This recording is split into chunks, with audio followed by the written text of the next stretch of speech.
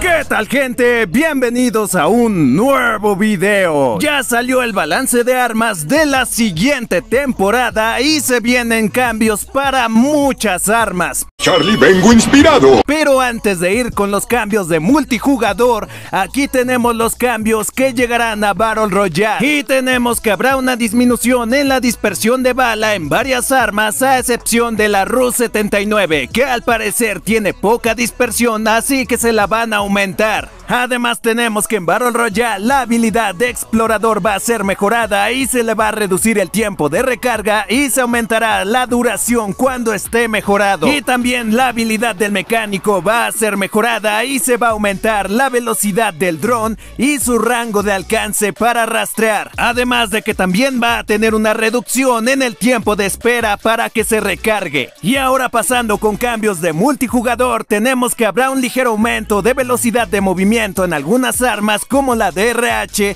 HVK, la AMAX, HBRA 3, AK-117, M13, KRM y R9, además de también la M21 y la SBD. Pero desde luego tenemos que no solo hay mejoras, sino también nerfeos que serán para accesorios de varios subfusiles. Y lo que le van a nerfear a los accesorios es la velocidad de movimiento que nos dan. Y tenemos que en la QQ9 va a ser nerfeado el sin culata y también su silenciador táctico. En la PPSH va a ser nerfeada su recarga rápida y en la MX9 la culata ágil, mientras que en la Fennec va a ser nerfeado su cargador liviano y su culata ligera. Y por último tenemos que la Mac 10 será nerfeada en su culata de acero y en su culata de combate, pero también va a recibir un nerfeo en su daño, ya que han notado que es demasiado fuerte.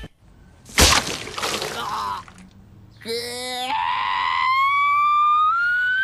Luego tenemos a las armas que van a ser mejoradas, que primero mencionan a la RPD, que va a mejorar su alcance y también el multiplicador de daño a la cabeza va a ser aumentado de 1.2 a 1.25. Además de que nos hablan de los beneficios que va a tener su nuevo cañón, que se llamará cañón de enfriamiento y que nos dará más alcance, va a disminuir el retroceso vertical y también la elevación del arma, pero también nos va a disminuir la velocidad de movimiento y la dispersión de la bala va a aumentar. Luego tenemos a la SM10 que va a aumentar ligeramente su velocidad de recarga y optimización de la animación de recarga, además de que la velocidad de recarga táctica va a aumentar y se aumentará la velocidad de recarga del cargador vacío. También la Manowar va a ser mejorada en su velocidad de recarga normal, la táctica y también la del cargador vacío. Le sigue la HBRA 3 que ahora se le va a aumentar el rango y su accesorio de onda de rayo va a recibir un nuevo atributo el cual va a permitir que se reduzca la dispersión de la bala. Luego tenemos a la KN-44 que va a recibir un aumento en su alcance y en el daño que hace a la cabeza. Por otro lado tenemos que la Peacekeeper va a recibir un aumento en la capacidad de su cargador base y también va a aumentar la velocidad de recarga del cargador doble. Además de que el alcance de daño del arma base también va a aumentar. Luego tenemos a la Hades que va a recibir un aumento en el alcance del arma base y al parecer su empuñadura va a recibir un nuevo atributo el cual va a disminuir la dispersión de la bala al disparar de cadera. Luego tenemos a la AK-117 que va a ser aumentado su alcance, también su daño y su multiplicador de daño en el pecho y la parte inferior del brazo. Además de que van a mejorar su tiempo de recarga. Luego tenemos a la LK-24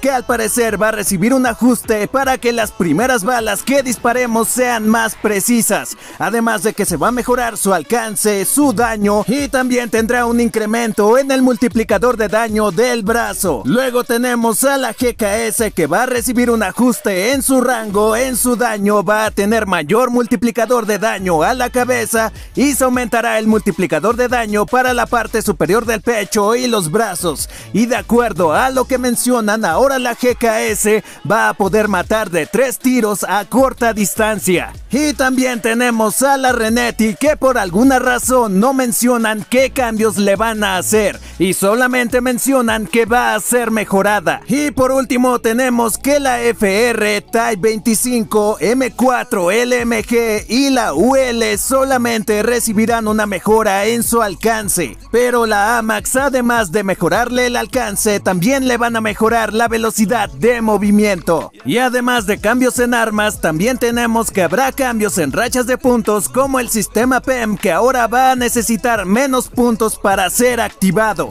Pero por otro lado tenemos al láser orbital que se incrementarán los puntos para sacarlo y también su duración va a ser reducida. De igual manera el ataque de Napalm va a ser reducida su duración y por otro lado el Chopper Gunner también va a tener un incremento en los puntos necesarios para activarlo. Y por último, desde luego no podía faltar uno de los cambios más solicitados hasta el momento que va a ser el nerfeo a la persistencia que efectivamente llegará la siguiente temporada. He esperado 25 largos años este momento. Y estos serían todos los cambios de balance que llegarán la siguiente temporada, así que díganme qué les parecen y si creen que debería de haber habido algún otro. Y además de comentar, desde luego, no se olviden de dejarse su poderoso like y también de suscribirse si son nuevos por el canal para no perderse de ningún video. Por mi parte me despido y nos vemos en el siguiente video.